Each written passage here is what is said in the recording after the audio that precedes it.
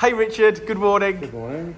This uh, looks like an absolutely beautiful supercharger kit for this FN2 that Jeds has already took some bits off. It does certainly. We're excited for this one. This one is a, uh, a pretty much a track car. It's arrived here from uh, somewhere else that hadn't finished certain parts. So we'll talk about that a bit later on in the video.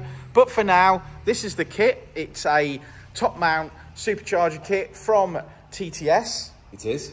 Now we've got some adjustments to be made, like we're going to use a different set of injectors from the kit. We're also going to use a different dump valve, and we're There's going to fuel use a different fuel pump. Yeah, these are just common areas that we've seen issues with, isn't they? Yeah, the fuel pump. we've had fail, which obviously no one needs. Yeah. Uh, injectors, we like using the Bosch 1000, so that's our personal choice, to be fair. Uh, and a dump valve, we've seen that the supplying the kit um, gives you overboost on gear changes. Indeed. So we've eradicated that problem. So we've made some of our own adjustments to the TTS kit. If you need any help with that, you give us a shout. But in the meantime, we're going to get it bolted up to this, and uh, hopefully we'll get some footage and, and move along. So here we go. Stay tuned.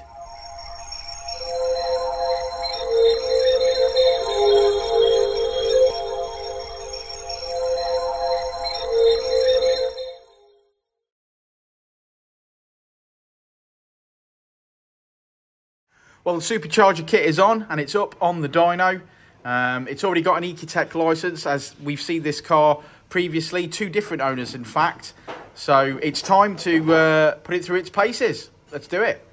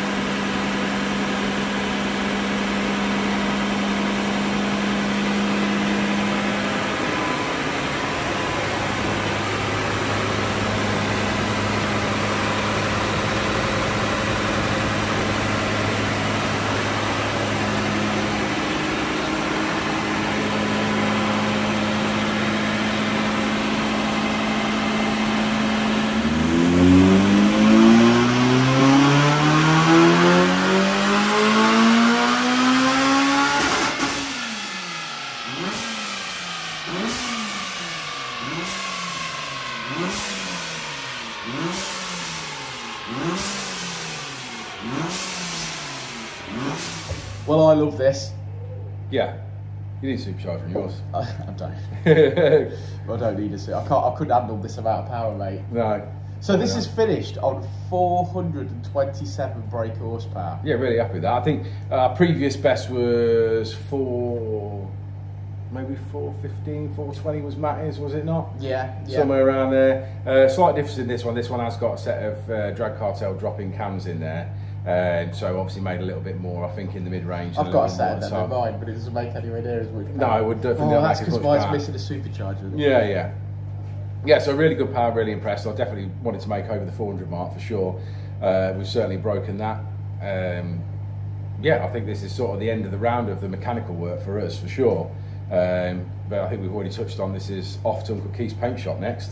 It is. Um, it is. It's off to Uncle Keith's paint shop. It's a, it's a lovely car. Like I said, we've seen it in various different fashions with various different owners. So we've known this car a little while. Um, and yeah, it's going to be really, really nice. Uh, and, and I think from for, for, for our team, a proud moment where, again, we show off that we can do everything here yeah. from start to finish. So whether that's an engine swap, because this has had a replacement engine at some point It did at some point, yeah. whether it's supercharging it or whether it's having the whole car fully refreshed with paint. yeah, yeah. You know, really, that's a, re- a really proud achievement, I think. And uh, yeah, it's going to be lovely to see the customer's face when he collects it. So, uh, Jensen, here's, here's our Jensen. It's Jack. You've enjoyed this Uh, one, ain't you, mate? Yeah, I have really enjoyed it. Really enjoyed fitting the supercharger. You've really kit. got stuck in, haven't you, and, and enjoyed it. Yeah, it's the first supercharger kit I've ever fitted. I would say TTS make everything fit nicely. There was no swearing, really. Not much swearing. Well, there was, Not some, much there was swearing. some boost part swearing. Yeah, there were definitely some boost pipe swearing. There was definitely some boost part swearing. But the rest of the kit, the instructions they provide and everything clears everything up very nicely. It's We, very we handed kit. back TTS some information as well, didn't we? Well, we've had a bit to and fro with TTS. Isn't it? I think the reason that the boost parts didn't fit on this particular car is it got Skunk2 Pro Series inlet manifold. So obviously the kit's designed for the standard one. Um, it was a little bit of an issue where we didn't get a battery tray for some reason. Yes, but they did ship one out. I did ship one out. Uh, you do need to change the battery with this uh, particular application as well, so be warned on that. And the battery is not supplied in the kit, and it's an 050 battery. That's right, yeah. Yeah. 058. It's, Um, like a small brick size thing. Yeah, and you have to change, uh, you have to modify the battery cables um, to work that. In this instance, I took the fuse off the battery terminal, fitted a breaker box so that obviously I could fit that where I wanted it, joined it to the original battery cable, and then obviously made my new cable then from that junction box up to the know, Yeah. up to the battery. And also, So- this this this motor hasn't got aircon, has it? No, this car hadn't got aircon. So the, aircon belt- the aircon belt was removed. So then obviously we had to get a belt. we had to on. Uh, we had to figure out which belt we needed to use, and, and obviously we've let TTS know, so they've wrote that down. Yeah, so they've obviously got for aircon and non-aircon. But yeah, models. additional to the TTS kit, as per usual, we fitted the oversized dump valve from Yeah. Turbosmart. Again, that was a modification to the boost pipe, but that's our choice, not necessarily something that needed to happen because of the kit. Yeah, and uh, and we've gone with some thousand cc Bosch injectors. Yeah, we have. We changed them So out. they're, they're re- we- realistically fuel pump. Oh yes, that's right. So we have had that conversation before, but Yeah. we're, we're, we're fitting a, a, a branded fuel pump Yeah. um, to the kit. It's longevity, and if you can probably imagine that the amount of money that's gone into this car, a cheap Chinese fuel pump is, Takes an engine out. It's going to be people will be upset, won't they? it's the Oh, Achilles heel of that kit. Yeah, it? we've definitely uh, we've we had an issue. We've had an issue twice with the fuel pumps, haven't we? Where one it didn't run, which is the best case scenario because Uh, absolutely. because obviously you can like well that's not working, so we need to sort that out. Uh, and we had an instance where it failed like during mapping. So obviously we've just completely now we don't fit those pumps. Yeah. Um, just for our you know for us and for the customers, you know. But if you guys are thinking of supercharging your FN2 or EP3 uh, Yeah, and you want to drop it off and let us do it, then you give us a shout and we'll, and we'll get you in. We uh, we enjoy it, and the proof is in the pudding here. This car is immensely quick. Yeah. Let's have a look at the graph. Let's have a look at that graph. Well, there she is. Look at that. As Richard said, very impressive. And we finish on 427 brake horsepower. That's 359 at the wheels. That's impressive stuff. Very impressive indeed. I'll say it again. Life moves pretty fast.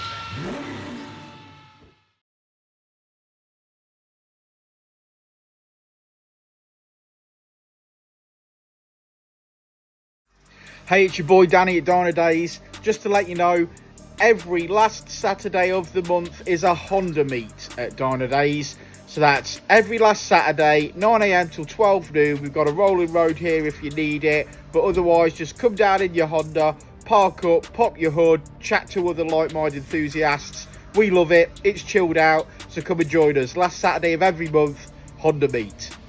Yeah.